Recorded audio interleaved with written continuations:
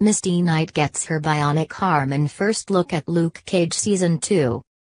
Marvel Entertainment and Netflix have released an official first look image for the upcoming second season of Marvel's Luke Cage, VU, and confirmed that Simone Missick's Misty Knight will finally be getting her trademark bionic arm in the series.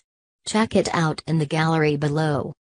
Misty's arm was lost during the long-awaited Defenders miniseries and its replacement was teased in the series. In the pages of Marvel Comics, Misty's arm comes to her from Tony Stark but given the walled-off nature of these Netflix shows it remains to be seen where it will originate from, perhaps Danny Rand, who offered to pay for her hospital bills, will be responsible for it since Misty is also scheduled to appear in Season 2 of Marvel's Iron Fist. Mike Colter returns as the titular Luke Cage, with Simone Missick as Misty Knight, Rosario Dawson as Claire Temple, Alfre Woodard as Mariah Dillard, and Theo Rossi as Shades.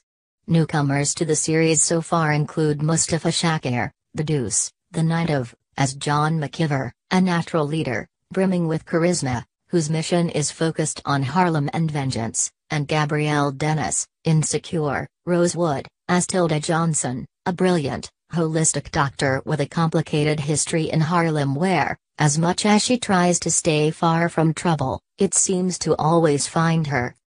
Marvel's Luke Cage is executive produced by Cheo Hodari Coker, Ray Donovan, Southland, and Aida Croal. The Returned, True Blood, is co-executive producer, along with Jeph Loeb and Jim Chory.